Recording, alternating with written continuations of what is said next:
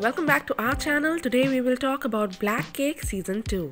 The hit Hulu drama just rounded out its first run on the streamer with its season 1 finale debuting on Wednesday, December 6th. Despite killer reviews, currently sitting at a 100% average tomato meter score on Rotten Tomatoes, season 2 of Black Cake has yet to be officially green-lit. Will there be a Black Cake season 2? According to Black Cake creator and showrunner Marissa Jo Cerar, season 2 of this hit Hulu drama could be coming. How likely is Black Cake season 2?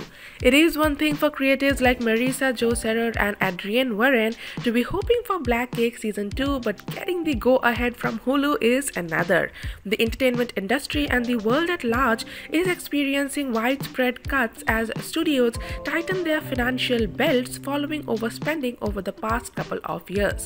This could put a smaller series like Black Cake in danger of cancellation. However, at this point, that does not seem likely. The first season of Cerar's streaming drama was widely acclaimed with critics lauding it for its touching story and depiction of identity. Given the series was so celebrated, it would make sense for Hulu to want more. Also, there is more story to tell. Season 1 only covered a small section of the book it is back on, Black Cake by Charmaine Wilkerson.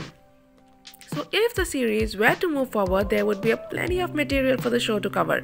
As expressed by Cerar, she has the blueprint in her head already of where the season would go in its act 2 and potentially beyond. Well, that is it for today. Thank you for watching the video till end. Please subscribe to the channel and press the bell icon.